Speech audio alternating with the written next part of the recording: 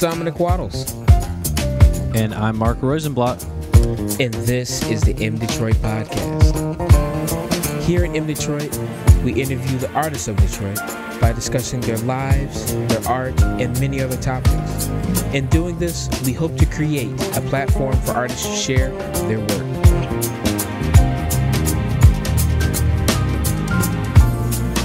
On today's podcast, we have the wonderful Kris Johnson. We talk about wearing different hats of a working musician, composer, and arranger. We talk about him playing with the Count Basie Orchestra. Then we go forth to talking on life lessons learned by playing music in Detroit, and so much more. So without further ado, please enjoy Kris Johnson. Well, welcome to the M Detroit podcast. You are the first podcast that we're recording for season three.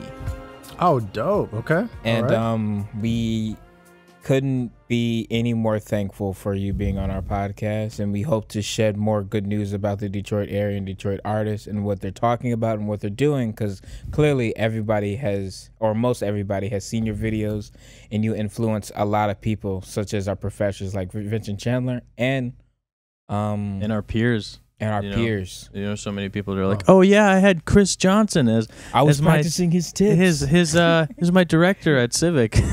That's so wild to hear, man. Like, because I still remember being a student, you know? Like, yeah, So it's wild to hear that. Like, oh, yeah, yeah, I remember you. You work with, you know. But man, there's a lot. It's really crazy because even in the band, there's like several people that I taught at some point and now Mhm. we're working side by side. I mean, that's that's what it's supposed to be, though. Yeah, no, absolutely. And then like we saw uh while we were doing research for your podcast, we saw uh you posted a picture on Instagram of you in Civic with Marcus Belgrave and a bunch of people that were also, you know, like your age group and that was like really interesting to see. Oh, Um, man. Yeah. I mean, it's like that. We're talking 20 years ago now. Right. 20 little. years? A little over 20 years ago. I'm old, man. Listen, Yeah, nah, You're nah, nah, not nah, old. nah, nah, nah, nah, nah. I'm old enough. All right. How about right, that? I'm right. I mean, You don't Uh, look it. You, you look don't. so young.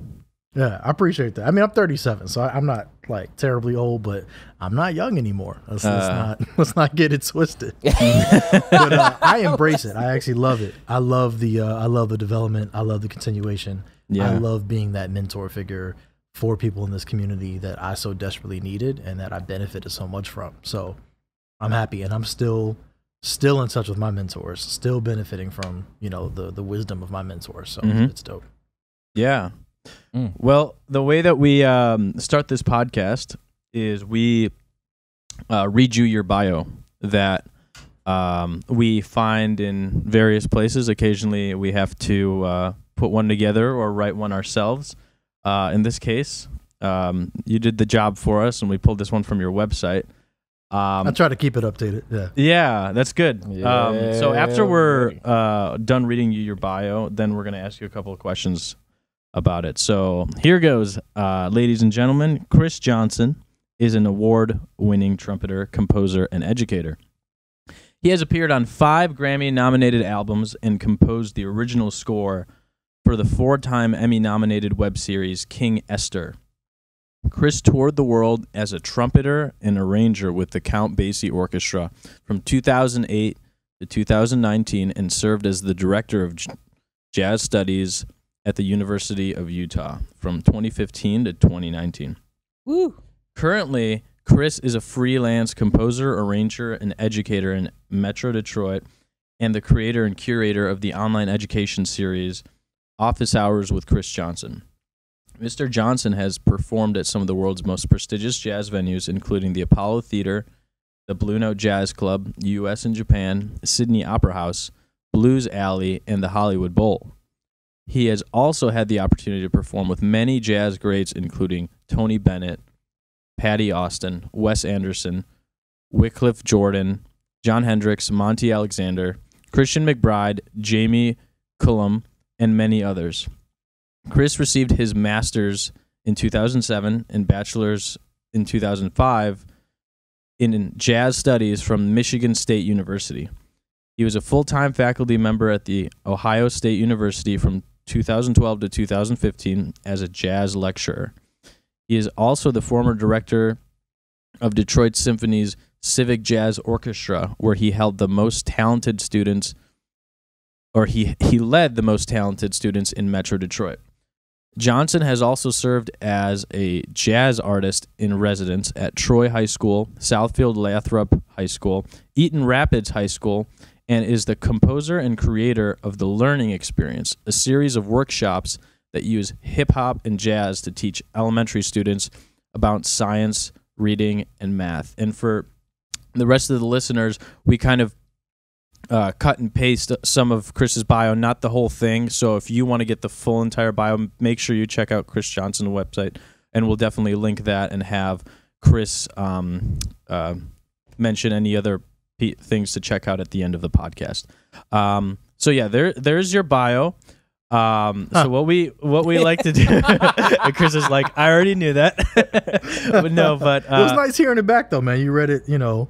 I was like, man, I feel accomplished, man. that was I feel the code. yeah. Um, but yeah. So, hearing your bio, is there anything that you would add or you would change that might not necessarily be in the bio right now?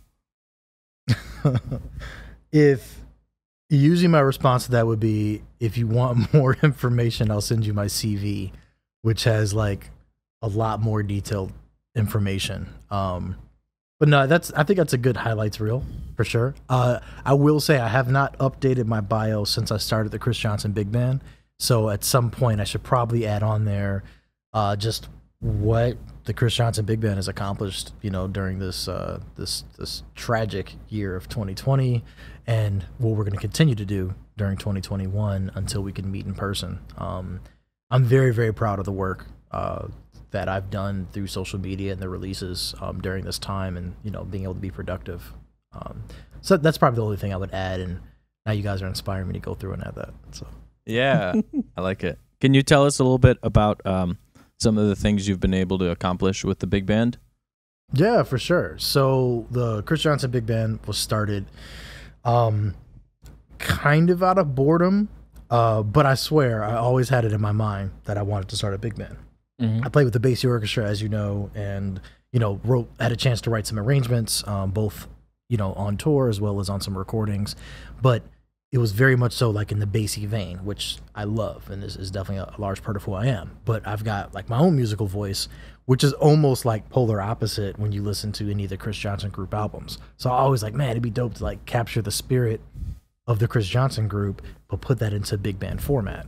But you know, other projects took precedence, uh, other gigs, opportunities, whatever. So we got hit, and all of a sudden everything just slowed down with the pandemic.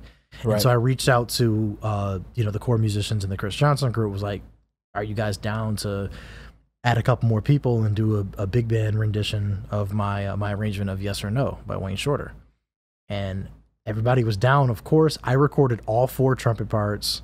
Uh, Christian Foreman, uh, form you know a current student of mine, laid all the trombone parts down. Marcus Elliott split, I think, like alto two and tenor one. Uh, Shawn Thunder Wallace did tenor two, and Barry Caleb Curtis joined us on alto. I mean, it was it was like it was, it was dope. We put it together.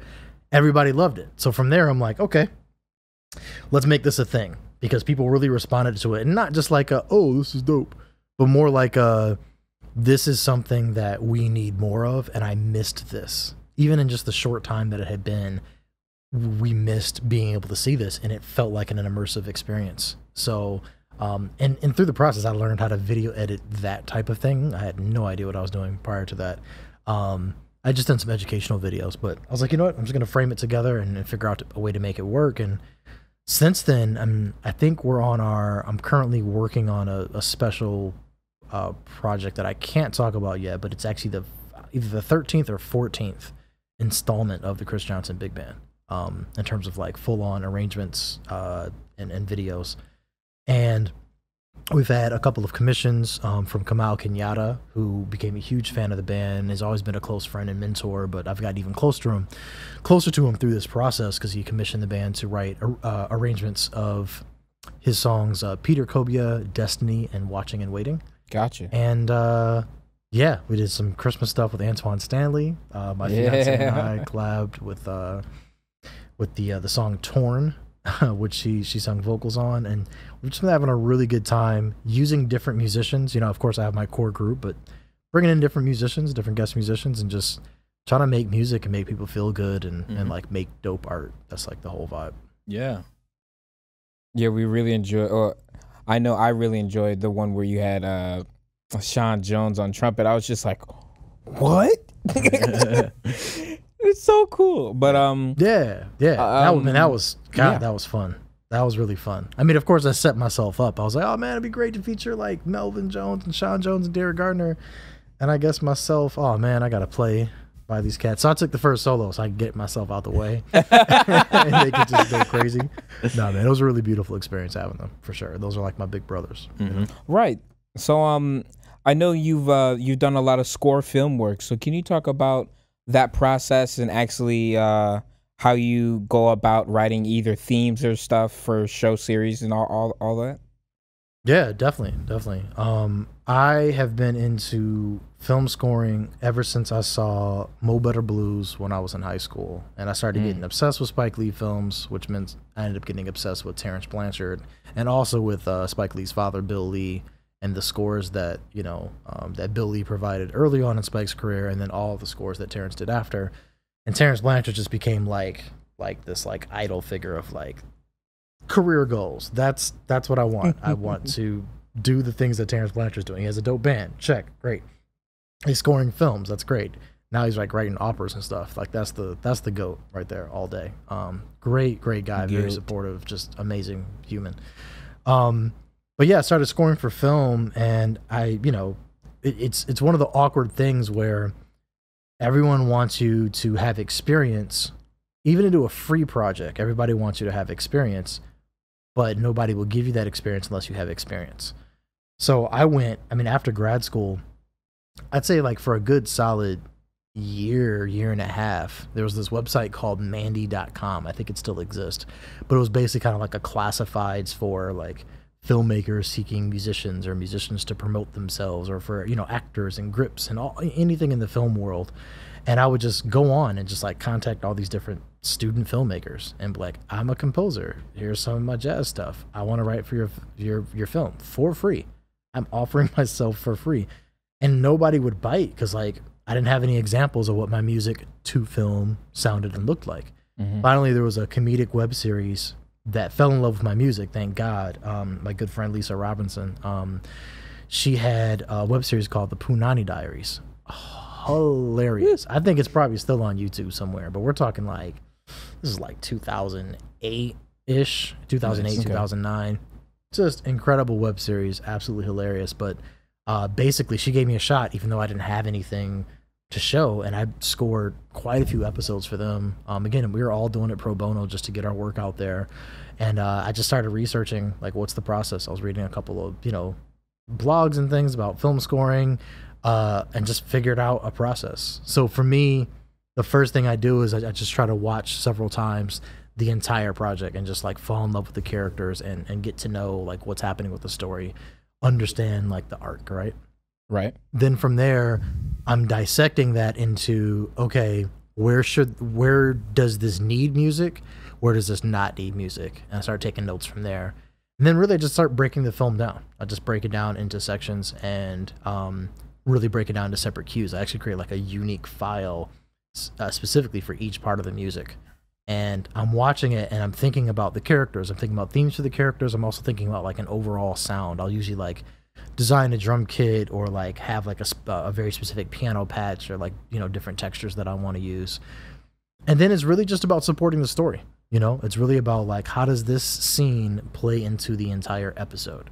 Okay, great. How does this musical theme carry us through the entire episode? How do all these things relate to the series as a whole?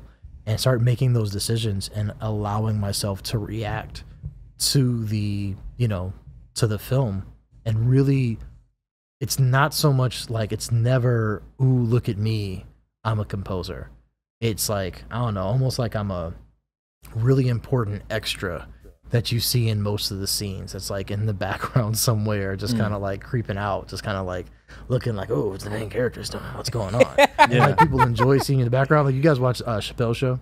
Yes. Remember there was like remember there was the dude like there was like a, a, a series where he kept having this dude in the back just like doing the robot, just like doing his thing in the back, right? Yeah. And you like fell in love with this like like why is this dude doing the robot? But it was in every episode and they never talked about it. To me, like I kind of want to be that musically sometimes.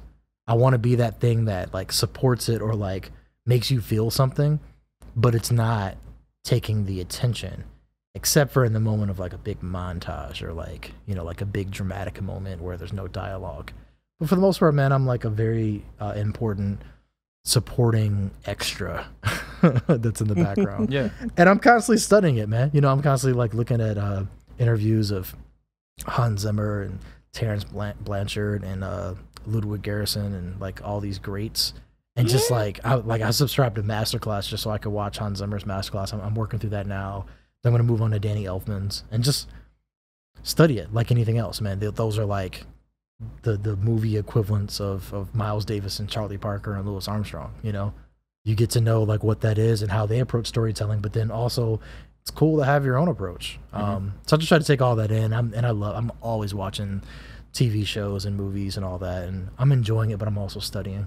Um, plus, it also helps that my my fiance is an actress, like a dope actress. So um, we're very dramatic, and we're always like we're studying. We're like studying the acting and how the music come in here. Oh man, listen to that piano patch, and then forgetting about the storyline for a minute. But to me, that's key. It's like a it's a constant presence in my life. You know. That's awesome.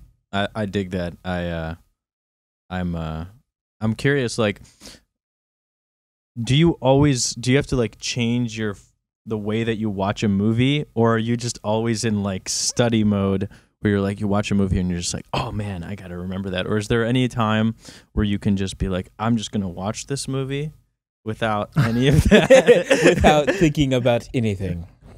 I think I I say that any musician, when they listen to music, they're they're studying it and enjoying it at the same time. To me, they're not like um, they're not separate.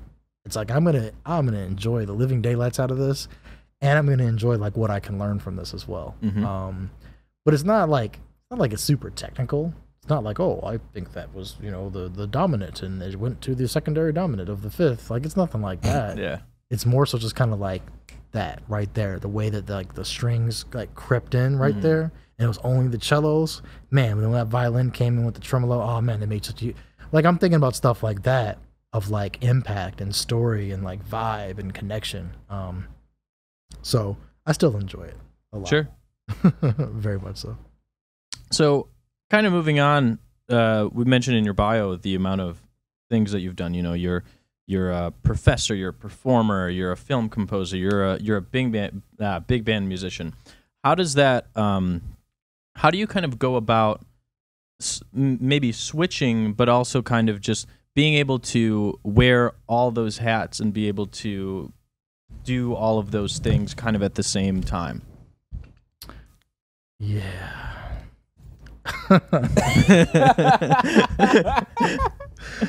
Um, th- that's a hard one because balance is something that um I get myself in trouble with. I used to get myself in trouble with that I've. I am very proud of the balance that I have in my life now. When I was traveling a lot, like I got to say that like there's a benefit to how I did things, but it was also very complicated. Oh, computer, don't go to sleep because you're recording and uh you don't want to stop recording. Okay, I didn't stop recording. That's dope. Sorry. Um. So I spent. Just consider the context. If I spent from 2013 up until summer 2019, I was for part of that time I was at Ohio State and commuting back and forth from Ohio State to Detroit. Um, doing work with Detroit Symphony Orchestra youth ensembles, and I'm a father, and so like having my kids when I was here, and like traveling back and forth and touring with the Basie Orchestra. Then I left Ohio State, and I was like, why don't I go further? Because you know, I don't know why I did that to myself. Except no, it was a great opportunity. I went all, all the way out to Salt Lake City, Utah. Was director of jazz studies at the University of Utah. Great opportunity, tenure track position, got to really make some impact. Um, but I was traveling every like two weekends out of the month. I was traveling back to Michigan to be with my kids. I was um, touring all, the other weekends. I'd always joke if there was one weekend that I spent in Utah, it was like a shock to everybody. I'd say once every like two or three months, I'd spend a weekend in Utah. I was either in Michigan or I was on tour or I was visiting my fiance, then girlfriend in New York. Mm-hmm. On top of that, being a father. On top of that, being a composer. On top of that, running a department, putting out albums, all this stuff. So I guess the thing is like none of it's optional. Like all of it is stuff that I have to get out. All of it's like, you know, do you have a choice? It's like, no, I'm, you know, I'm gonna raise my kids. Okay. Like, so I'm gonna fly every other weekend. That's what I had to do at that time. Uh, I'm gonna, you know, like spend time in New York, which is musically, artistically great, but I'm gonna spend time with my girlfriend too. Uh, okay, that's Right. great. I'm gonna tour because it's the Count Basie Orchestra. Wonderful. I'm gonna do that. Oh yeah, I'm gonna do my job because you know I'm a very hardworking person. I'm not gonna let anybody down. So I like killed the job. Great. I was I was you know I felt really good about the stuff that I did in that role. So I guess in terms of balance, it's really just kind of like uh how do you achieve like maximum output? And I think one of the ways is you go through seasons of aggressively going after the things that matter to you. And if it matters to you, then you're going to develop it and it's going to like it's going to be great. And if you care enough, but the thing is there were periods of times where I sacrificed sleep. There were periods of time where I sacrificed my own personal health. And I'm not saying like everybody go do those things, but it was kind of like at that time it was I felt like it was necessary and I benefited from it. But there were also strugg- struggles that came with that. There were hmm. consequences of not taking care of certain things. But over time, as you know, right now, the stuff that I'm balancing literally feels like nothing in comparison to what I did for like, you know, for that six year period of time where I was just hustling Mm. ridiculously hard. I'm not touring right now. Even before the pandemic, I stopped touring. Uh, I'm with my kids 50% of the time. I live, you know, the, they live their their mom's house is 15 minutes away from here, so we're seeing each other all the time. And I have 50 50 custody of them. So helping them with school and doing all the, the dad things. I'm at my desk most of the time composing music. I have got my travel bug out, so I'm good. This hustle is busy and there's a lot of output, but it's there's no comparison to like being on a plane several times a week. Um, Mhm. I don't know if I answered your question, but basically, you hustle, you prioritize, and if you feel called to do those things, like do them. And I will say that you know, after a certain age, things start to slow down and your priorities shift. Go with those seasons. Go with that flow. Um, you know, there might be certain seasons where I'm like, all I want to do is improve on the trumpet. Other ones where like, all I want to do is write music. Other ones where all I want to do is pursue film. And then other times where I haven't done a film in, in months. And so all I want to do is big band videos. For a long time, I was like, I want to do big band videos and looping. And that's what I did. And then it switched and it was like, uh, you know, educational programs and things like that. So allow yourself to go with those seasons and follow your passion and the discipline will come. But learn from my mistake in the sense of try to find as much balance as possible as early as possible but also know that you will have to make sacrifices. You will have times where you burn out a little bit. You don't have to freak out about it just adjust accordingly. Would you say that um, that hustle is something that uh, kind of you feel that people should have like that kind of period w- which you just mentioned to you know like maybe get to the place where you are now where you have the ability to be like you know I can pick and choose exactly what I want to work on, when I want to work on it, and I'm more flexible, or would you say that you know that's not necessary and there there there could be a different way? i think every person has a very unique path and and with art i think it's really dangerous to try to line everybody up to be on the same path Yeah, Um, it's one of the Yeah. things that I struggle with in academia, you know, Mm-hmm. is this idea that everybody's on the same track. And that's just like complete bullshit. Sorry, I don't know. Do you swear on this podcast? That's all right. You're you know? fine. We Okay. check the no kids box all the time. okay. All right. Great. Well, I mean, that's just like that's just like there are certain universal skills that everybody needs to know, and I think we can. There's a lot of things you can gain from school in that way, but it's not the same path. Not every trumpet player should listen to all the same trumpet players. They should be aware of who they are, but you should also like learn the people that you like. You should study the things that you like. You should be aware of everything. There's no excuse for being ignorant. But in terms of like what you study and what you grab onto, so I know quite a few musicians who like are never stressed out, who are working hard, but it's not like a, a hustle like that, like a you know Gary Vee type hustle. It's just like a a lifestyle. But then I know other people who are just constantly just like ridiculous amount of output. It's everything in between. I'm not here to to to shame one lifestyle or promote one lifestyle or the other. I think you have to go with what's natural, but every artist, every human has to form has to form uh, a discipline around their art. And um, I learned this a lot. Like there's a lot of therapy principles principles that I've learned from from being in therapy um, of treating what you do as a practice. And I love that. I love thinking about like self care or musicianship as a practice of something that you are working towards. It's not like, man, I don't have this figured out. I am not perfect in this, but there are key things that I figured out that I feel really good about. And there are other ways that I'm still trying to develop and, and grow. So it's a practice. I wake up every day and I'm working towards something the same way we would with our scales.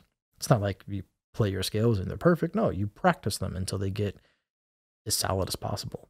So that's what I feel like I'm trying to accomplish.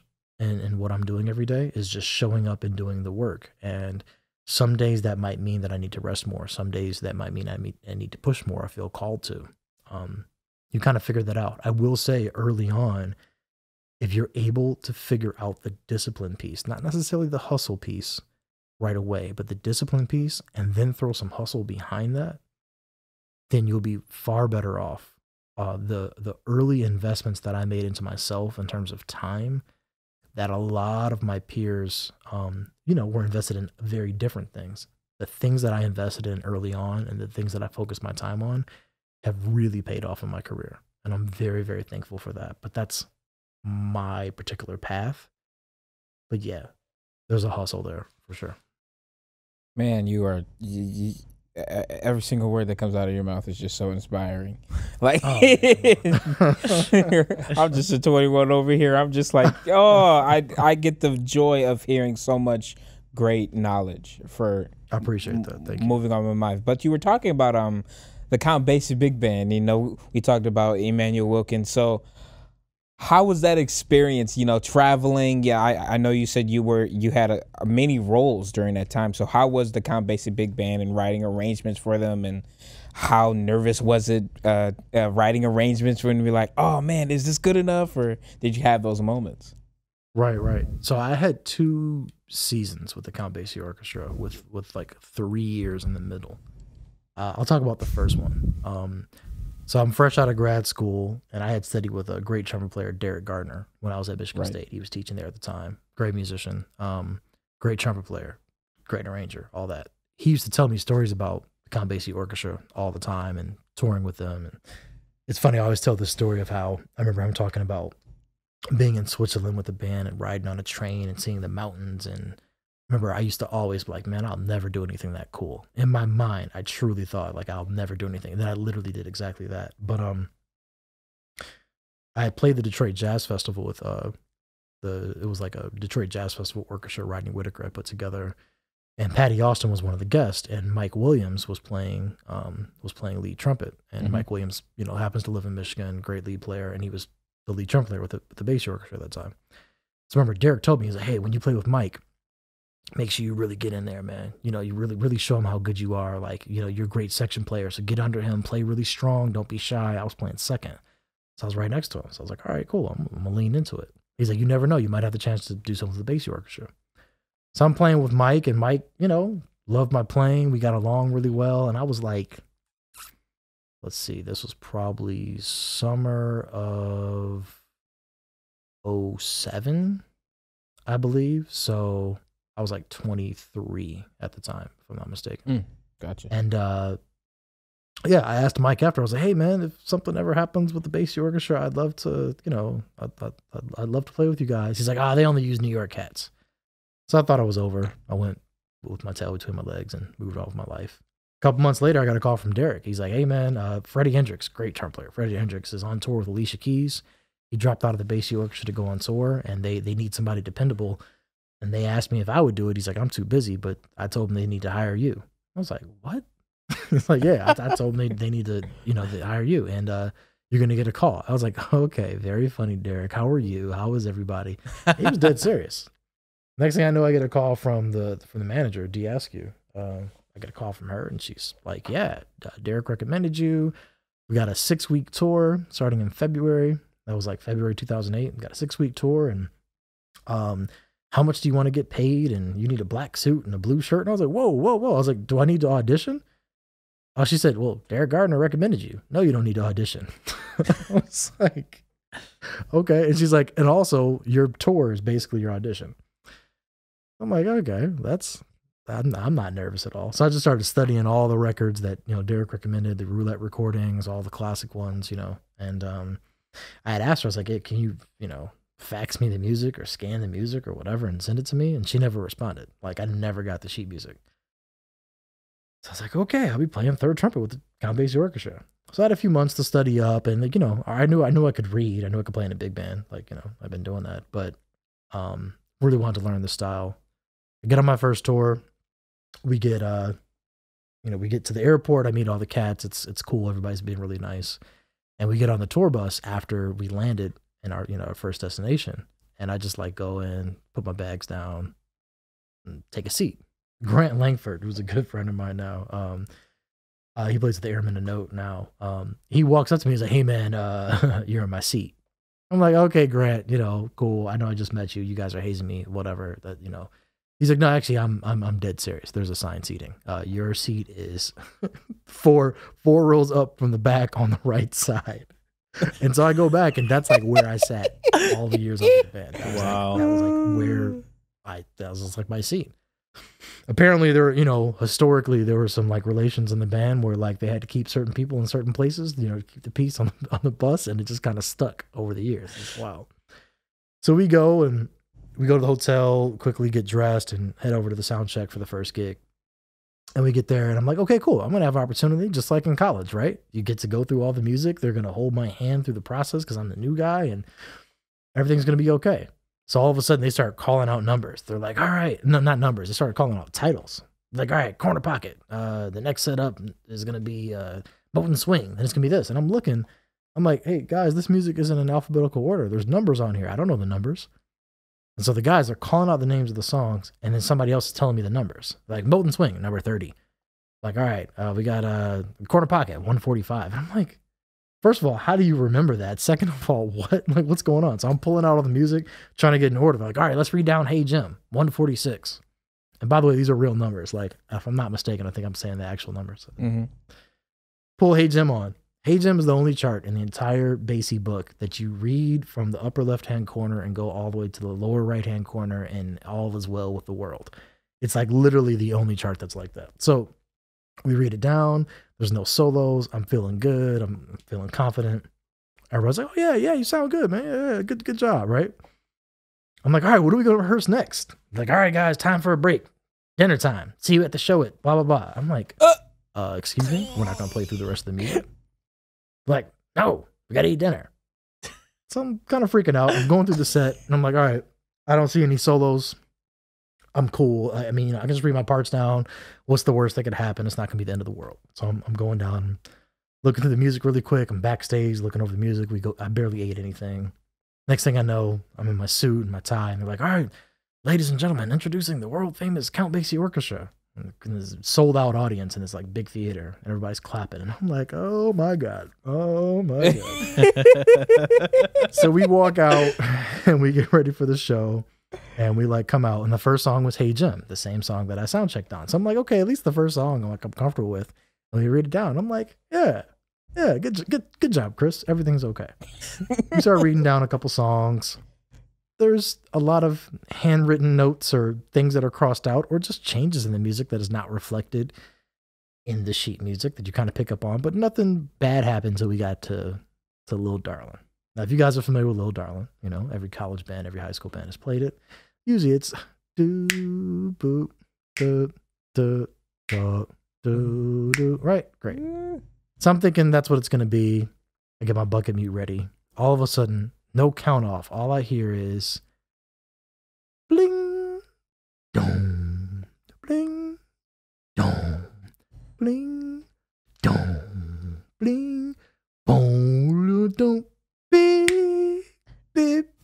bu, bu, bu. And I'm just like, what on earth is happening? It is the slowest tempo that I've ever played in my life and so exposed. Everybody's playing so softly but articulate, and they're 100% tight on every quarter note. And I'm sitting here just trying not to mess up, and I'm playing my part. And every once in a while, I do what they call step in a hole, where all of a sudden there's supposed to be silence. You hear a little bit of third trumpet. I'm like, oh man, oh, I'm sorry, guys, I'm sorry. We're playing through it. And we get to this one phrase. I'll sing it at the fast tempo to, to not let this long story drag on longer. But we get to the to the part where it's like. Dum.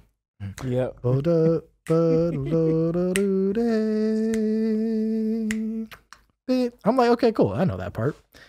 But when we play it, it's like ba-da, ba-do-do, ba-dee-da. Uh, and here's, here's where it messed me up.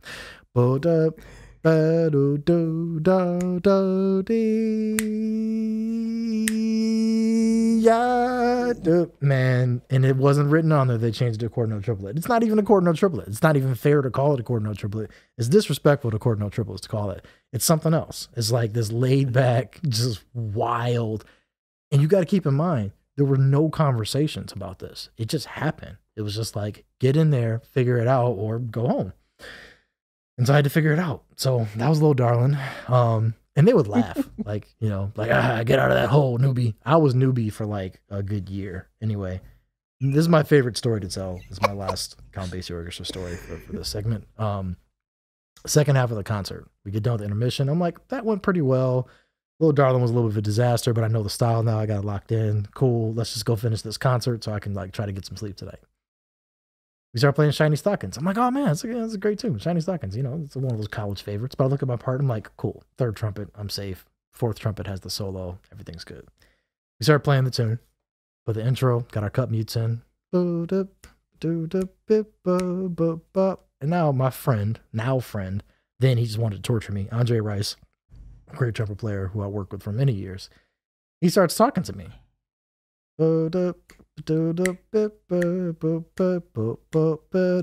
Hey man, guess what? You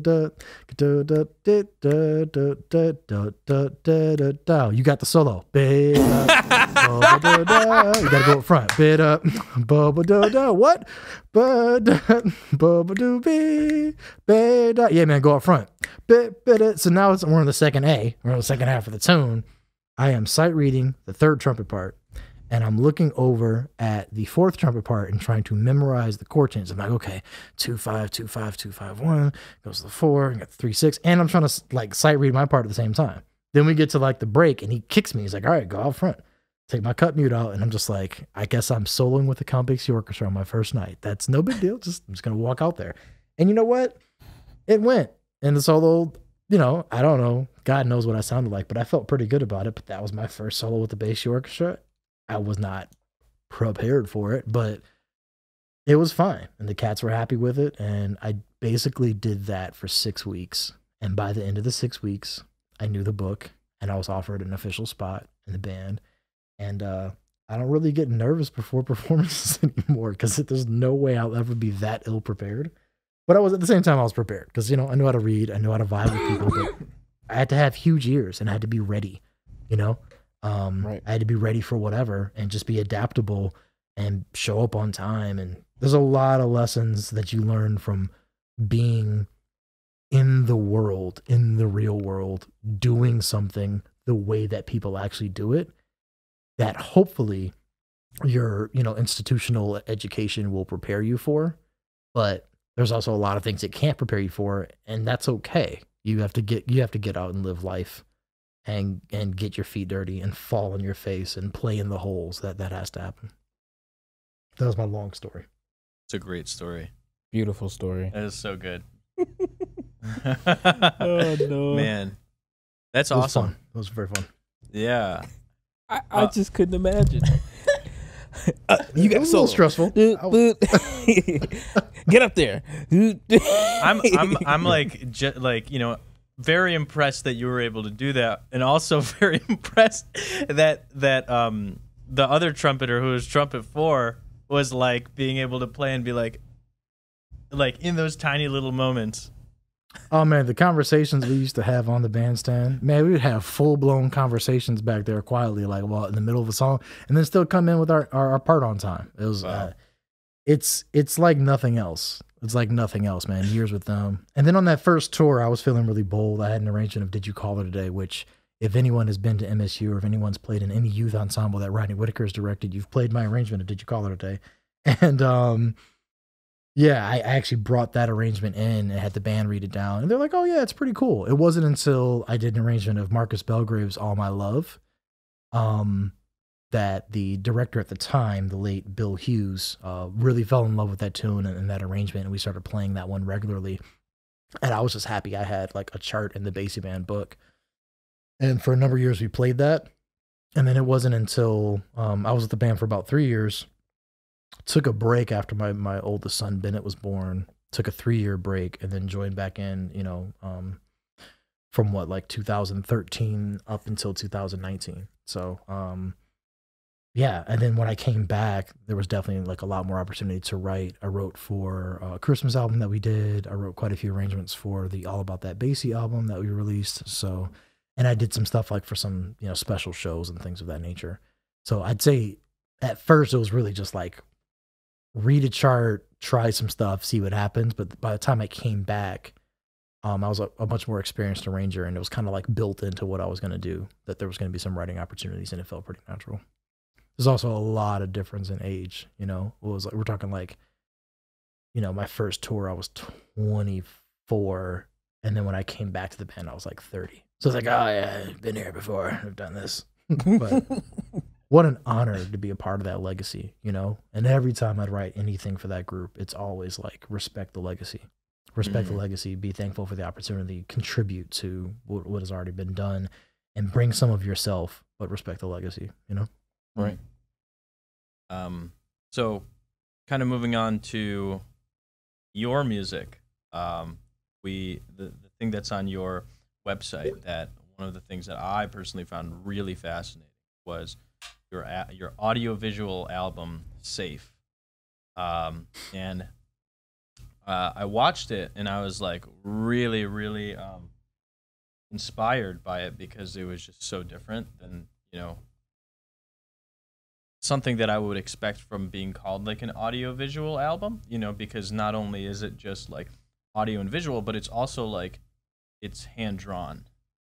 Um, Mhm. And then it's like these scenes, you know, and it's almost like how you mentioned, like when you were talking about the movie, uh, writing for movies and writing for films, it's those moments where you are writing where there is no uh, speaking, there's only the, the visual aspect of it.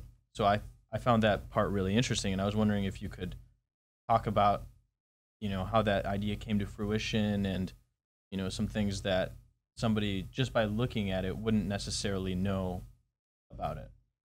Yeah. So, um, and thank you, thank you for that. Um, when I was really young, before I was into music, before I really got heavy into music, I was uh, I wanted to be a visual artist. I I loved drawing, and I would draw all the time, and um, just something I was really passionate about. It was like a nice, you know, kind of like creative outlet, escape as a kid. Um, but I got away from it as I got really serious about music in high school. I just kind of like left drawing alone and would very, very rarely ever draw. Um, it was um, during a time where uh, I was, you know, doing doing some just doing some therapy work, just trying to like find more balance and trying to to heal myself and you know and and become better. And it's something that I, I think is really important that we talk about. Like everyone, if you can, like try to find a great therapist and, and do some personal work. Um, just want to throw that out there. I think it's really really useful. I wish more people had talked about it when I was coming up. I wish more people were transparent with that or aware of it. Um, Right. It can help you out a lot. You know, like you you you go through all sorts of different professions and things with with a coach. Like having some sort of like life coach that can help you through things is important. But what I found is that drawing became like a really nice way to express certain things that I was feeling and and going through or reflecting on in a way that words couldn't. And so I would, you know, just started using it as, as a way of just expressing like a particular topic that uh, I was dealing with, you know, in, in a therapy session and thinking about afterwards. And these musical ideas just started to come um, to match it. The very first idea for Safe was actually um, I wanted to shoot like a little mini movie. And the first sketch that I did specifically for Safe was like supposed to be like a storyboard um, to represent what I wanted the video to look like. I was working with my, my good friend Matt Lima, and he's like, yo, I think this is the movie.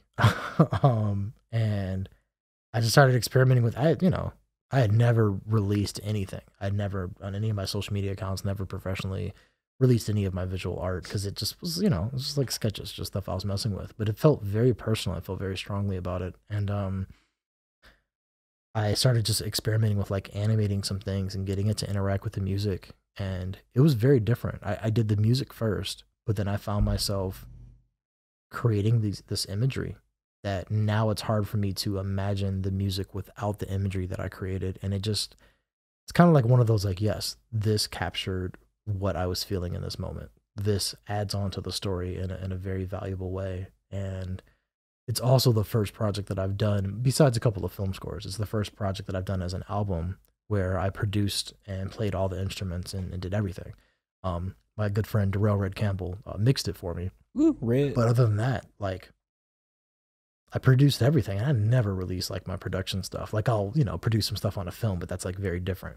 But nothing with drums and stuff like that. But it was like this is a personal story. This is like a something that that requires like a, a very different approach. And um it's very therapeutic. And honestly, it was one of those like however people decide to respond to this, like I need to do this for me and I want to put it out there. I hope it helps some people, hope some people dig it.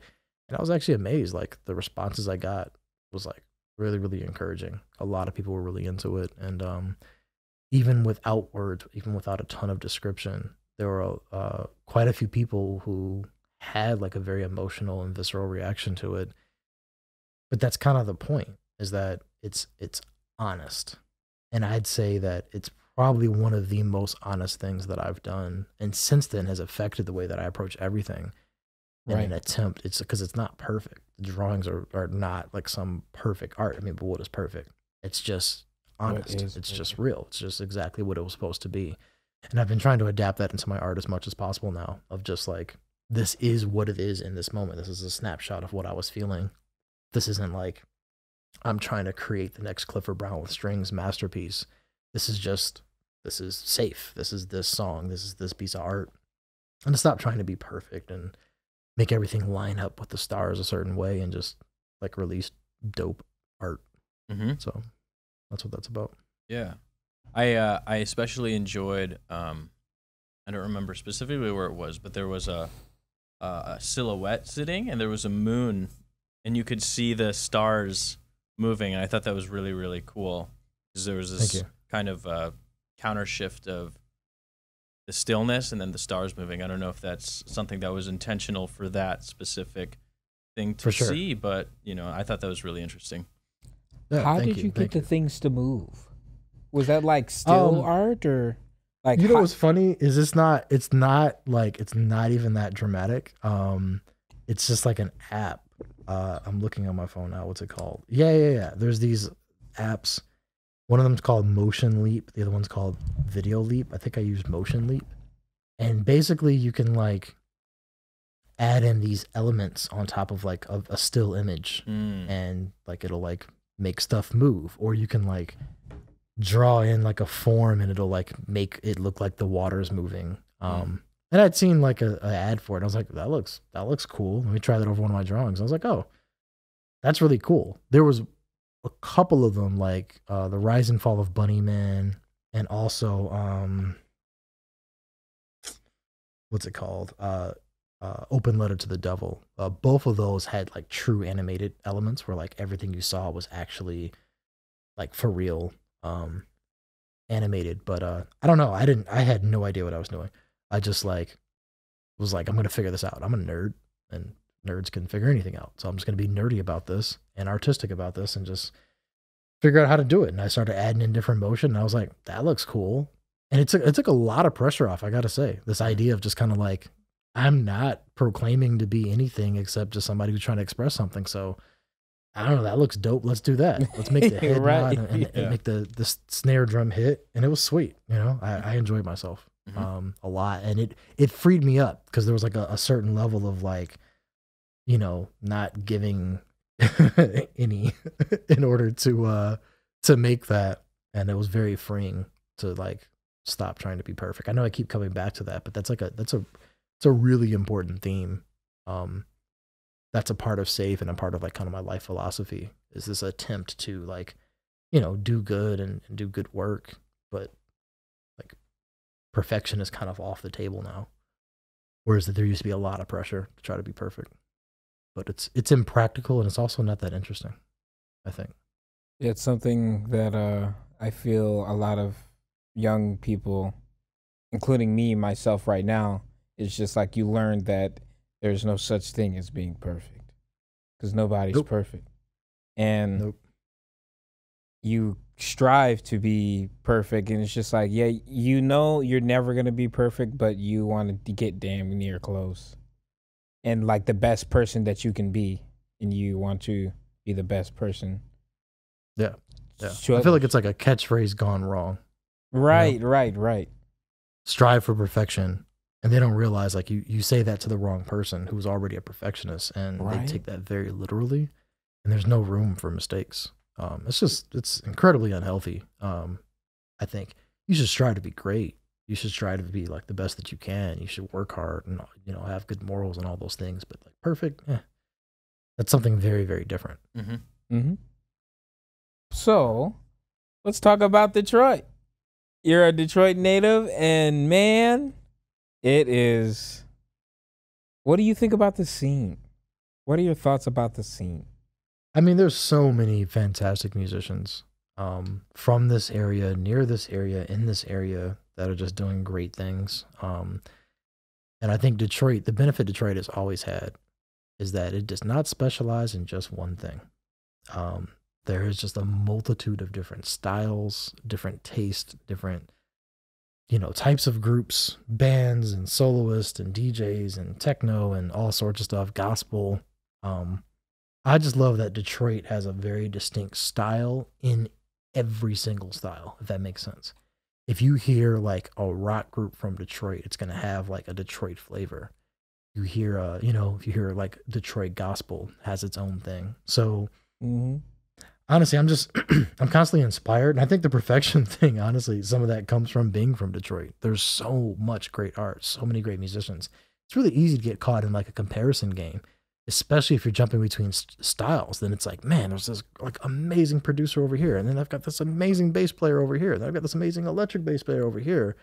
But just realizing you don't have to be like a master of all those things. You can you can be inspired by that without having to like participate at that level. Um, but man, it- also Detroit has like some of the best audiences, like people that will let you know. I grew up going to jam sessions at Baker's Keyboard Lounge when I was in high school, and they didn't care how old I was. They would let you know, like you sounded bad. You, I really, I loved that. You know, uh, any sort of emotions, you get like some a very different level of of crowd participation being in Detroit. Um, it's uh, it's fantastic, man, and there's so much legacy. There's just so much legacy here, um, and attention to detail, and there's a lot of passing of the torch. So, uh, yeah, Detroit. I'm I'm very happy to be back here too. Um, I spent you know quite a few years, not only traveling but also living in other places, and you know, but all the while I was still mentoring in this community, even if it was from a distance, or even when I would come back, I'd make it a point to be involved in what was happening. But uh, to be here and to be living here is like everything. So Mm. it's really dope. I wish you know I could go out and hear some music, but you know, hopefully that'll change in the next year or so. Yes, please. it will. it will Yeah, it'd be dope. Um, Meanwhile, man, people are like determined. Meanwhile, people are determined. They're still putting stuff out. They're they're doing live streams. They're recording, you know, material. Like art will not be stopped. It just changes platforms a little bit. That's all. Mm, I like that. Um, so another another question about Detroit. Um, uh, how has Detroit impacted your life? Hmm. Uh, I mean, I'm. I would say like I I was I was born in Detroit. I was raised in Southfield, and it was it was high school when I first started like regularly going into the city for like you know different youth organizations as well as like just like I said going to Baker's Keyboard Lounge and different places. Um, and there's a certain like I think just realness and rawness that you know academia or suburban life doesn't necessarily afford you of just like this like real raw honesty and raw energy.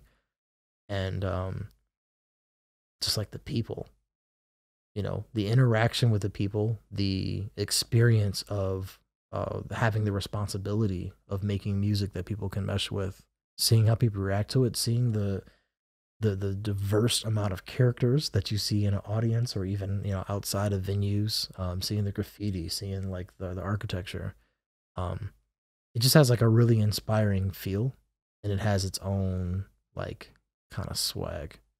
And um i think for me the ability to wear multiple hats the ability to be um to strive to be as genuine as possible and also just having to be on top of your stuff. There were just so many opportunities that um highlighted all of those important characteristics that were like a essential part of my my upbringing.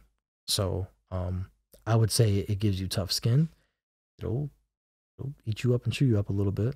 But also too there are so many great mentors and so many great offerings that there's kind of something for everybody. And there's a lot of like cross genre respect um that was kind of a struggle when i was in college a little bit. You know there was like a bit more separation.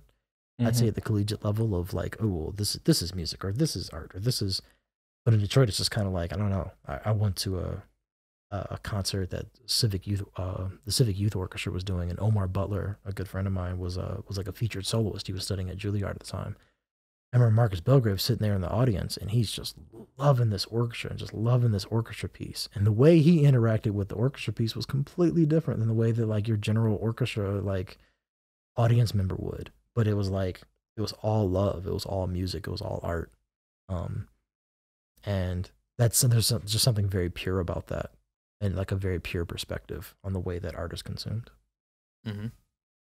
just just magnificent right there. Just freaking magnificent. Um kind of all your experiences you've been talking about what are some defining experiences? You can e- either name the ones that you've already experienced or what were some experiences in your life that defined who kris johnson is? Um, I would say music was a place was like the first place where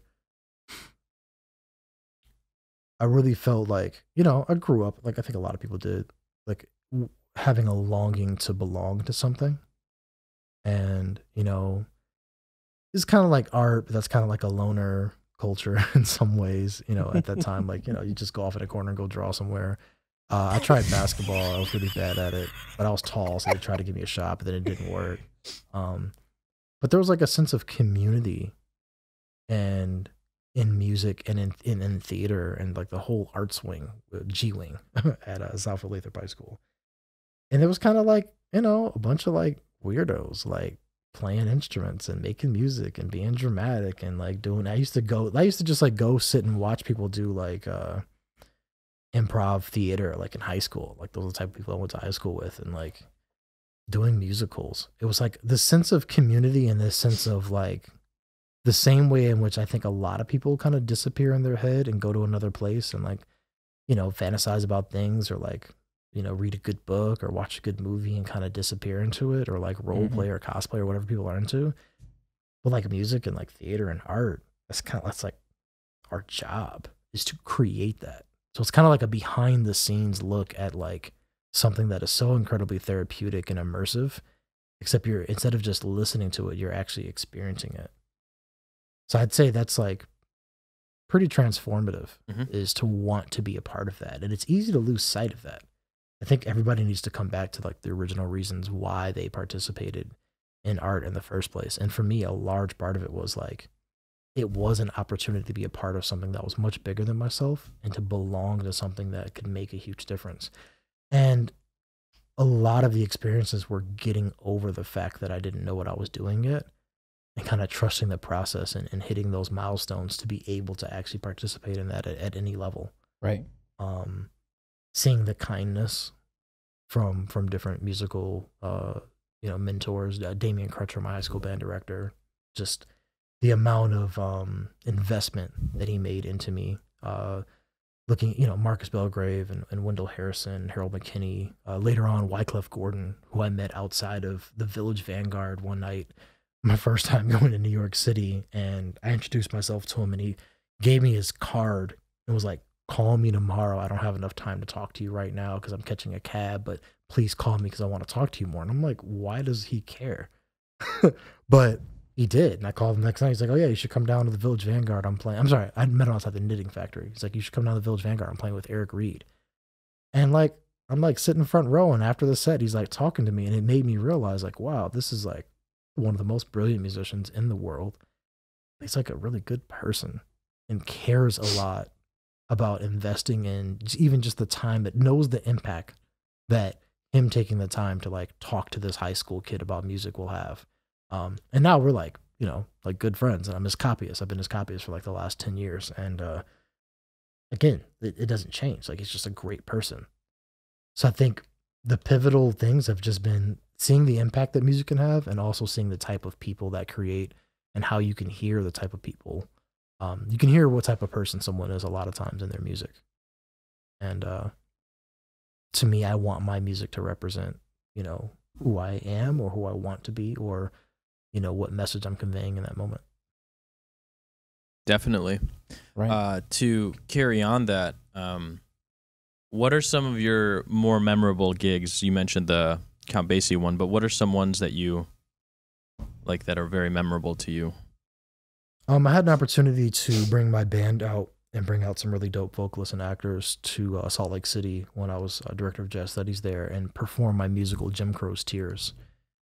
And that was just like this incredible experience of having a, a lot of local musicians from Utah that I got to know, and as well as like, you know, vocalists and actors from, you know, New York and from Chicago and my band from Detroit come in and we're all on stage like performing this musical that I wrote. And um, you know, the, the my uh, Gary Anderson, fantastic, brilliant playwright and head of Plowshares Theater. He um he wrote the book and he came out and directed the actors. I had Gil Ashby, a fantastic visual artist, kind of create like a backdrop of original art. That was just like a really really special performance. Um, really really special moment. Another one that jumps out to me was a, a battle of the bands between the Count Basie Orchestra and the Lincoln Center Jazz Orchestra at a Symphony Center in uh, Chicago. And it's like you got both big bands like set up side by side on stage, and we're going back. They're playing the music of Duke Ellington. We're playing the music of Count Basie, and it was just like, ugh, it was ridiculous. It didn't feel like a competition. It just felt like a beautiful exchange until Lincoln Center played Braggin' in Brass, and then it became a competition, and then we lost.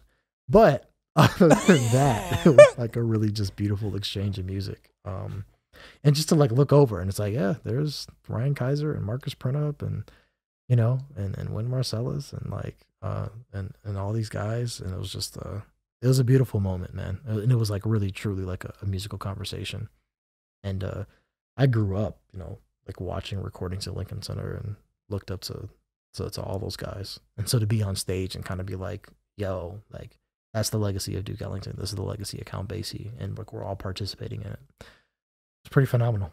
Yeah, that's that's so awesome. That's that's pretty next level, honestly. Like two band. I've never I've never heard. Is that even like a common thing? I'm really fascinated if that's ever happened before. It used to be. It used to be a really common thing, like at like swing dances and stuff, or just different concerts. Like Battle of the Bands were like huge. Mhm. I've got a poster down here. It's like there's a local group called the McKinney Cotton Pickers, and it was like a battle of the bands with like the local Detroit swing band and uh and the Duke Ellington Orchestra. That used to be like a thing, you know. Wow. Um, doesn't really happen nearly as much. I guess like uh, essentially Ellington in New York is like the closest thing to that now. Yeah. but it was dope. It was that I did another one. It was uh the Gerald Wilson Orchestra and the Count Basie Orchestra. We played the Detroit Jazz Festival. That was pretty dope too. Man, I actually remember watching that video, and it's just the reaction that the whole, just the bands next to each other, and you guys' reactions back and forth. You're just like, whoa, oh, oh. Just wild. Because because it, cause it's not really a competition because we're all like fans of each other and everybody checking each other out and just like and just loving it. You know, Mm. it was uh, it's pretty phenomenal, man. I'm not gonna lie. Right. Um, going on to uh, more of an educational standpoint. Um, what are some teaching strategies that you have for other music teachers and people in art? I would definitely say like consider the, the the level of where your musical students at and where they're trying to go. Um I think oftentimes and I know I was like this when I first started teaching early on in uh like you know, late high school, early college. I treated every student forgive me.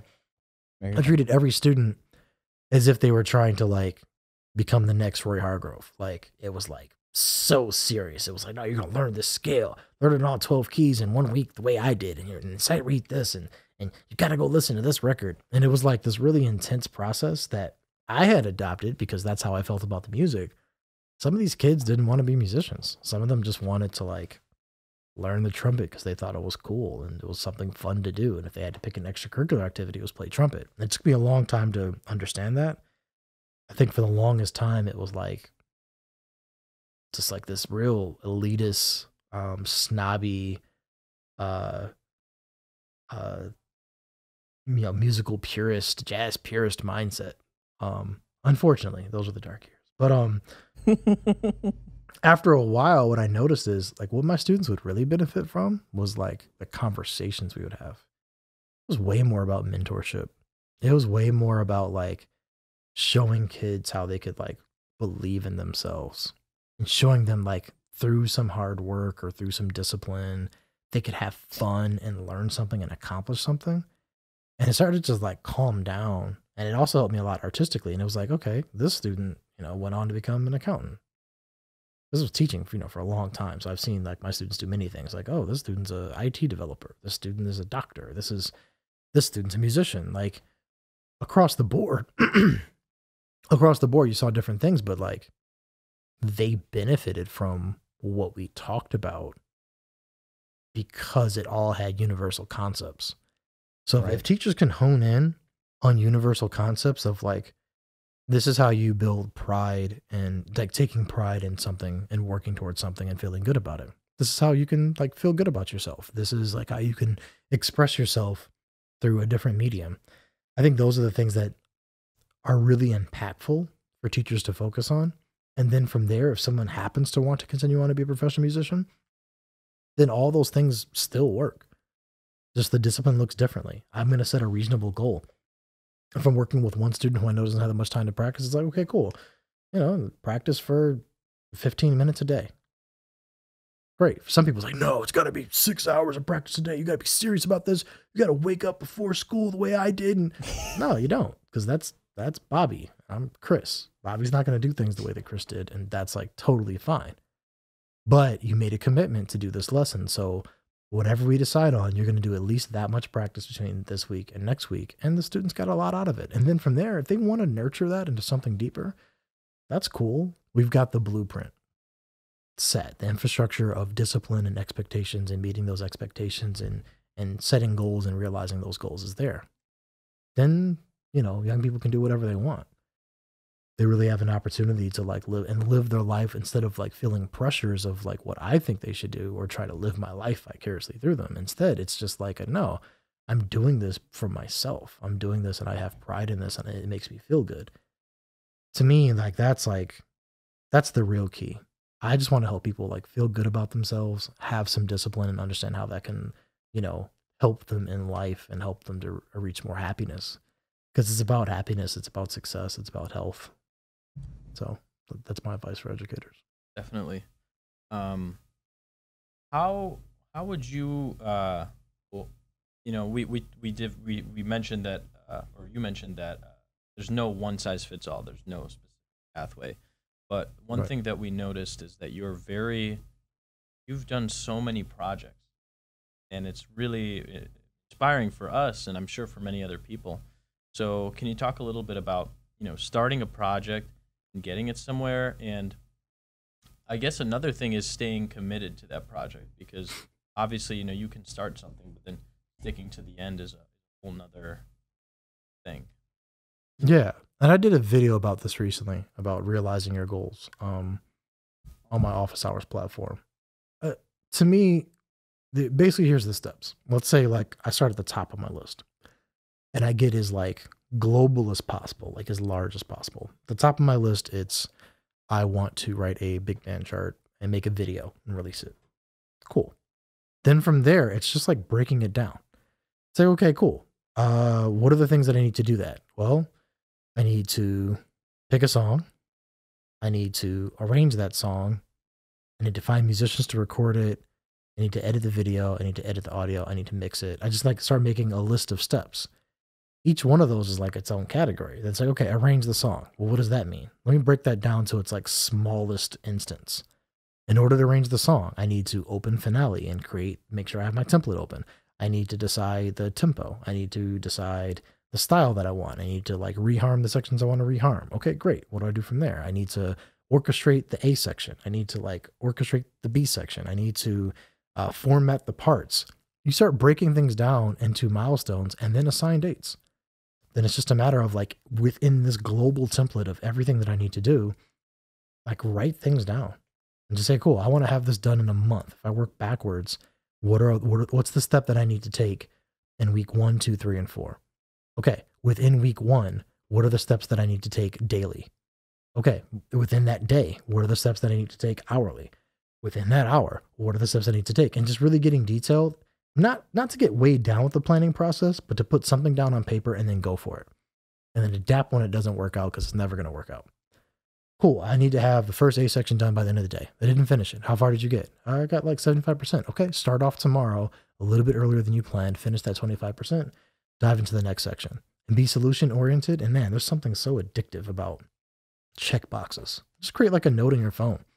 Put that little circle, you can put the check on, and it's like, Mhm. yeah, I did that. Cool. I even do that like mm-hmm. with big bands. It's like I'm waiting for people to submit recordings. I have a, a list that I refresh, and it's like, okay, alto one turned in his part. Thank you, Caleb. Okay, what's next? Send that to all of the saxophone sections. Ooh, trumpet one turned in his. Check. Send that to the trumpets, and then as they do theirs, I check them off. There's something so satisfying about list and check marks. So let's say make a big vision and a big plan, and then slowly start to flesh it out and assign times when you can do things and be patient with yourself when you don't realize those goals, but have a list so you can come back to it and refocus. When you get frustrated, it's like, okay, I don't feel like arranging this right now. But what I should do is at least like, you know, hire the musicians or like lock in the musicians. Like, man, I'm not really feeling that inspired to like write this shout section. Oh, I could create my mock up in Logic and like pull that in. So when you have a large list like that, you can start to kind of address things that you're in the right spirit or the right mind frame to do and always make progress even when you don't feel like doing one particular task. Yeah. I'm taking that to heart because, okay, yep. mhm, Moving on.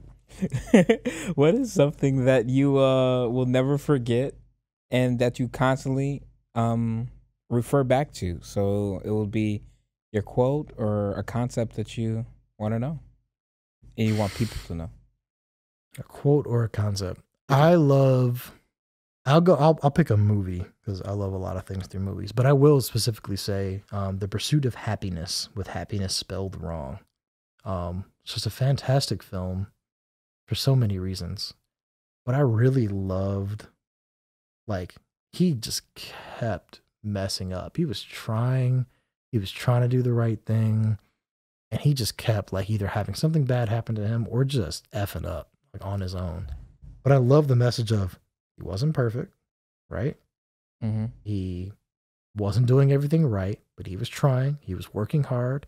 Wasn't taking care of himself, and he should have taken care of himself. He'd mess up with his son sometimes. There's all sorts of, but at the end, it was kind of like his arc, the arc that he was on, led him. It led him towards like a certain amount of success, and it was kind of like, uh, okay, a lot of stuff is going to happen in the middle, but you just kind of keep going. And then I'm sure after the you know after the credits rolled, like whatever happened in real life, I'm sure he made more mistakes, right? I'm sure he did more things. But the idea was kind of like instead of it being perfection, there were just so many things, so many things that he had to overcome and to focus on. But there was always the redirect. Okay, all right, my car just got confiscated. I'm going to redirect in this way. I re- redirected in a really poor way. I'm going to redirect in this way. I'm going to try this. It was like, man, bobbing, you know, sticking and moving, just trying out different stuff. And I think that's like a really important life lesson and something to adapt is just be adaptable, be ready for change, take on change, try out different stuff, fall on your face, learn from from all those things. You know. Mm-hmm. What are some things or hobbies you do that are not music affiliated? What? uh, video editing, which is like very recent, but that, I can't call that a hobby because I get paid to do it. But that's been really cool. I've been getting a lot of freelance work, like putting together multi-frame video performances for people. So that's cool. Um, I love playing with my kids, Bennett and Jonah. They're awesome. We play Connect Four and Uno. Uh, we used to play Smash Bros a lot, but they got into Minecraft, and I just can't. I just can't. I try. I tried. I really What? tried. But, you don't uh, like. Minecraft? Look, man, Come right. on. It's not. They would be laughing. Tom. they actually they would have been laughing at um how badly I struggled to log into Discord this morning because they use Discord sometimes. Uh, that they would have found that really funny. But no, honestly, um, spending time with them, spending time like just hanging out, kicking it with them. Uh, Lulu and I spending quality time together, and just like shutting down the devices and just like cooking a great meal together, hanging out, watching a movie, like yeah, going out. I just I love family time. I love my my family unit here. It's pretty pretty amazing. And honestly, when I'm not making music or doing that, I'm just kicking it with them, and they're just like hilarious, awesome people, and we have adventures together, and it's great. Hmm, Nice. uh, That's- that's good old beautiful thing. adventures. I, I'm still, I'm still hurt from the Minecraft, but it's okay. Ah, I, I will say I tried, but if it makes you feel better, they both have their own iPad. They both have their own Switch. All of those have Minecraft on them. They have a server that they built with their cousins. I'm very supportive of their Minecraft habit. I'm glad. I'm I'm I glad. just personally struggle with the participation, but I will facilitate it. Dom and I I will have had this facilitate. conversation before where I'm just like, man, I just can't play it. Uh, and he's like, no, you have to. You have to give it a chance. You know, it's one of those interesting. I tried. it's one of it's one of those interesting things just about Minecraft. Really quick, is that it's like one of those games where it's like, even though like me and you know Kris, for example, like it's still one of those games that like it's not like no, but not everybody can play it. It's like one of those games that everybody can play. You know, if you're like. You can't have every single person play like okay, okay, Grand okay, okay, Theft okay, Auto, okay, okay, okay, okay. but you can you like Minecraft is one of those games where you can definitely have like I can tell this is a sore subject. Okay, okay, okay, okay. So, so, so, so, like, just hear me out. Just the both of you. Just hear me out. In Minecraft, the reason I love it so much is because you can continue to build like new things. So, like, Right. my friends, they just hit me up. They're like, "Hey, we're starting up a Minecraft server." I'm like, "Uh, I don't really want to get into it because I'm gonna get really into it." So I got into it, and like, I'm like, "Oh, I love the way it hits my creativity of my mind." Like the way I can think about new things, like, "Oh, I'm gonna make an extension to my house." And that's gonna be like the area where I do that specific thing. And then I kind of translate it all translates to like oh I'm I'm like playing music. And I'm like oh I'm gonna add a little area over here so the saxes can get down you know? So what I'll say, what I'll say is, I share, I, I harbor no judgment in the way that someone chooses to uh, pursue their creativity. and I only ask that the same um, lack of of judgment is applied to myself. Yes. That patience is exercised for my lack of interest in that boring. I mean, in, in that game. That, of course, of course, of course, of course. no, no, no. Um, I, this is gonna sound really stu- like silly, but I'm constantly building musical worlds every single day. So I think maybe I'm just burnt out on and organize things. That when I'm stacking bricks together to make a house, I'm like, okay, yeah, sure, but guys, I gotta like, I gotta like put this, I gotta like put these musicians in boxes and like make a dope video. I don't have the energy to, to, build all this to right put now. more boxes on top of boxes. Right. right. I totally. we, we did that for a long time. I'll get. I, I promise I'll give it another shot. But each time I'm like, okay, this is cool for about five minutes. I'm just happy they're happy. You know. Just find the That's all game that you love. I, I'm joking. There we go. but um, we want to move on to uh, our signature um section. It's called Hip the Listener. This is where we have you, the guest, hip the listeners to anything, whether it be music, art, events, movies, documentaries, whatever you want. Hip the listener. Okay. Uh, like you're looking for like a list or one. Oh no no no! You can pick one thing. You can pick five things. However Okay. you want to go. Um. Great. Uh, shows. Let's start off with shows. Cool. Uh, Lovecraft Country. Watchmen. Dark. Yeah, definitely those three. I was Okay. limited to three. I'll limit myself to three in each category. Sure. uh, Watchmen, Lovecraft Country, and Dark are like three really really dope shows that everybody should get into. Uh, music: Moses Sumney, if you're not already hip. Uh, Tom Browne, who had a huge influence on me as a trumpet player. Um, it's like '80s smooth jazz funk, but Tom Browne is like the most soulful person on trumpet ever. Um, what else in terms of music? Dave Matthews Band. Don't sleep on Dave Matthews Band because they're amazing, particularly um before these crowded streets. Just like, yo, amazing. Like you'll hear it and be like, oh, I understand Kris so much more now because he listens to Dave Matthews Band. So does my drummer Nate Wynn. He's a big fan of Carter Beauford. Um, yeah. What were the other categories? You, you want more? Oh yeah, Anything. musicals. Yo, yeah yeah yeah. musical musical theater. Let me tell you something. Wicked, John Dixon of all people got me into the musical Wicked. The music in that is incredible. Just absolutely incredible. Like do yourself a favor and get into that because it's really dope. Um, I love Ragtime. The the musical Ragtime was really cool. Um, I've seen like a lot of like random musicals because my fiance is an actress and she's been in a lot of musicals. There was a musical she did off Broadway that's now, well, was on Broadway called uh, Hadestown, which is really, really fantastic and worth checking out. Um, yeah. Go eat Indian food because it's delicious. Mm. I think that's Yes. all I got for right now. Michigan has some But good Indian food. Indian man, there's this place in Farmington. Yeah. Ah, you already know. You already know. You already know. Which one? Which one? Which one? Which one? uh, do you, uh, is it Krishna? You know what? Indian flavors for me. Dude. Oh, I know- okay. I know the owners. Say Really? Yeah. Oh snap! So- Okay. Indian flavors, man. That joint is amazing. Yeah, I dude, love it. yeah, man. I uh, so they actually the owners, one of the owners, uh, used to work out at the gym I worked at like Oh, years snap. ago. So yeah, and that place was literally right across the street. So we'd work out and we'd go eat, and then we would it's like so good. go home and immediately pass out because we ate so much. It's so good. It's so good. It's, pretty- it's like it's like shameful how good it is. Yeah. It's really quite wonderful. if you do want to So- try another one, try Gift of India. It's pretty good. Okay, I'll check it out. Um, It's gonna be hard to tear me away from uh from India. oh flavors. yeah, I'll check it oh yeah. out. I will.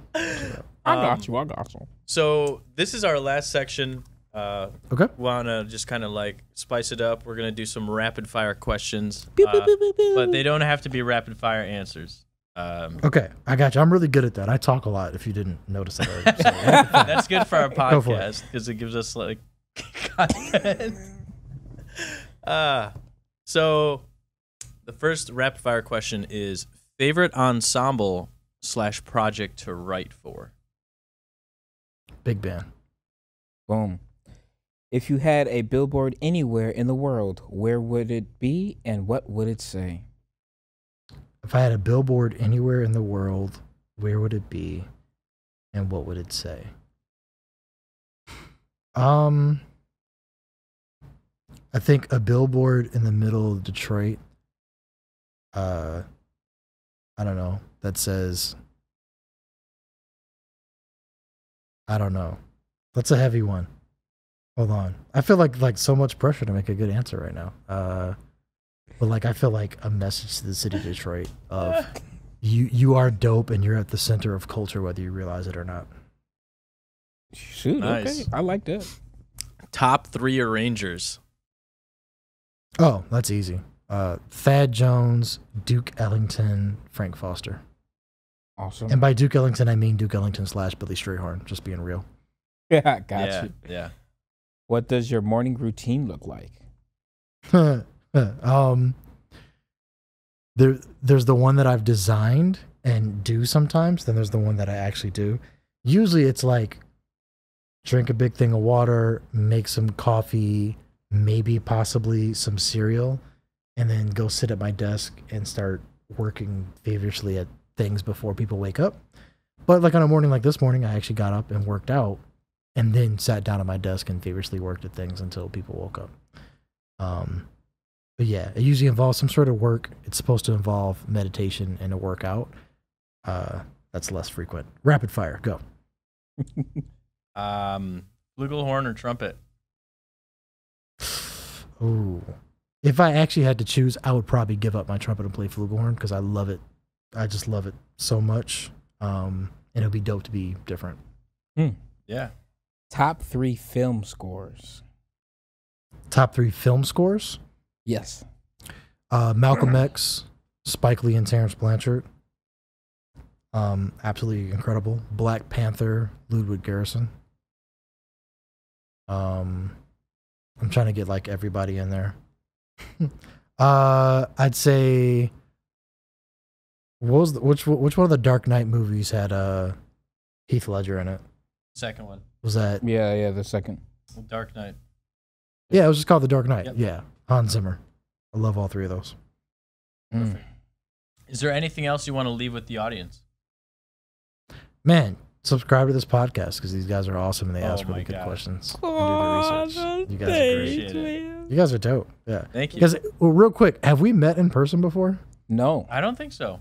I've I was gonna always say, I don't- wanted I don't to think meet so. you, and it's crazy Yeah. because I was um I had posted my Instagram thing of like a, a arranging project that I was doing in arranging too, and then Red said you need to talk to Kris Johnson, and I was just like, who's Kris Johnson? And then I went on your That's Instagram, I was just like. Yo, he's like doing exactly what I wanted. so why didn't you hit me? Wait, wait, why didn't you hit me up, man? I would have helped you out. You know. oh, I'm just uh now you can. yeah, now I can. It's nice to Okay. officially I meet wanna- you. I didn't have like a proper like uh what do you say? I wanted to hit you up when I like wanted to hit you up. I got you.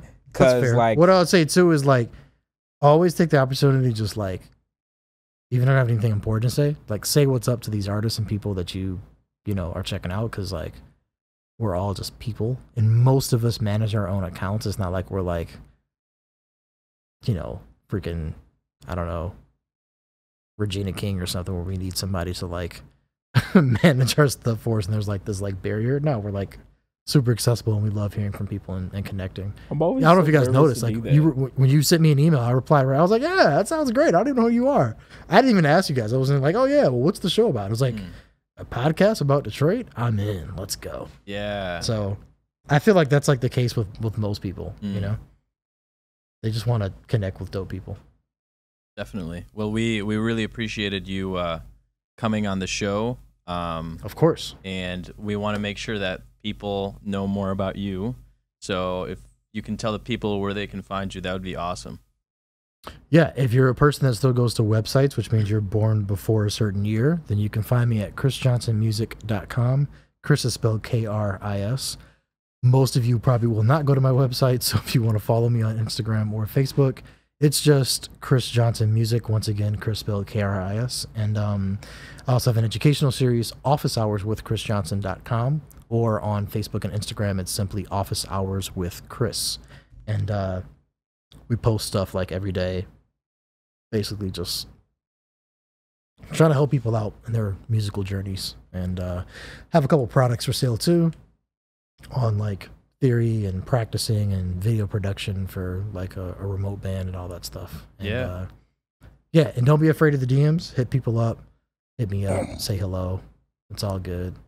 I love connecting with people and I just like being helpful and making dope art. That's my life. Yeah. I would definitely hit up more people and definitely hit you up because like I was just like, oh maybe maybe he doesn't want to talk to me. He's so big. He was in the Count Basie big band. He, he he has other things to worry about. You know, I, That's funny. But that's you know, just that's how I feel about Red. pretty much. But that's how I feel about Red. So that's funny you say that because like Red is like, you know, that's Red is like this brilliant musician. I've known him. Red and I were in Civic Jazz together in 2000. Wow. So I've known Red for over 20 years. he's he's such a And nice one guy. of my best friends. Beautiful, great musician, but like we're all like we're all the same in that regard. Like Mm. we're all cut from the That same. is- What I don't even know the saying. that is so same crazy. cloth. Mm. Whatever it is. But, Yeah. Yeah, you guys are dope. Thanks You for having me. Thank you for being on the show. And just before we get off, um, you've known Red since like 2000, because Red has known me since I was like four. Oh. Because he Okay. would play in my dad's bands at the church. Um, it was either Red or Snoop or um, Yeah. who else? But all these people, I'm just like, what? Red goes to Wayne? What? Red? Red? Red? I'm just like, and then you know him, and it's just like everyone just knows everybody. yeah, man. We're listen, man. We're all we're all just humans trying to be dope and trying to do dope things. Um, And you guys is more are successful freaking at that.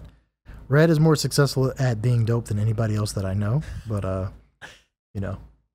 Yeah. Sounds like love. we got to have him on the podcast. I think so. Oh man, I are you think so. kidding? He's the Season best. four. He's the best dude. Yeah, that would be super awesome, the- man. It'd be good to The see best him. dude. but Kris, you have a wonderful day, and I hope you, You guys have- too? You keep, you keep being you. I I have no choice, and uh, there's something exciting coming up soon. So just I'll I'll do one of those like very vague, uh, stay tuned because I have really exciting news that, you know, hopefully people will find as exciting as I think it is. If you if you send us like those stay tuned things and stuff that you're gonna post, we'll post it on all of our social media and promote it like crazy. Sweet. It's some some some dope stuff, so you'll enjoy it. All right, we're We're excited. ready. You take care. All right, thanks guys. Take care. Have a good See rest of your Have night. a good one.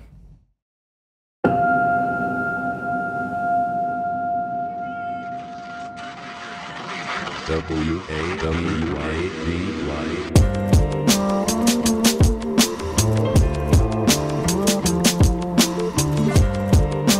Wow, that was such a magnificent conversation.